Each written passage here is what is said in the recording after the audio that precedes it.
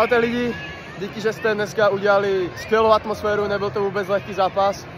A teď jdeme na Řím, přijďte tam udělat taky atmosféru jako dneska, ještě lepší, budeme vás potřebovat a čau.